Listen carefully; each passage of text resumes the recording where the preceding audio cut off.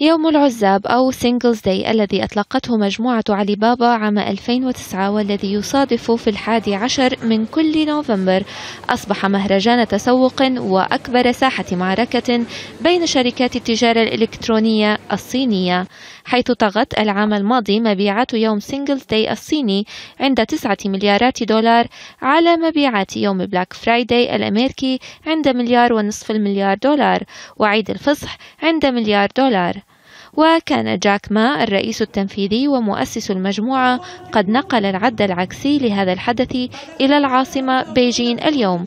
واستضافت المجموعة برنامجا تلفزيونيا ليلة المهرجان لمدة أربع ساعات حيث استضاف أشهر مغني البوب في الصين إضافة إلى مشاهير أجانب أبرزهم بطل فيلم جيمس بوند دانيال كريغ.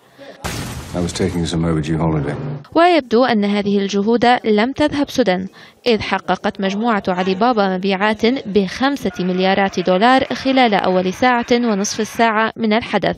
ويتوقع محللون في دويتش بانك أن يصل هذا الرقم إلى 13 مليار دولار بنهاية اليوم أي بزيادة بنسبة 40% عن العام الماضي. يذكر أن حصة التجارة الإلكترونية تزداد عاما بعد عام في مواسم التسوق للهدايا حيث تجاوزت المبيعات في موسم الأعياد الماضي 130 مليار دولار في أوروبا وأمريكا. سمر الماشطة العربية.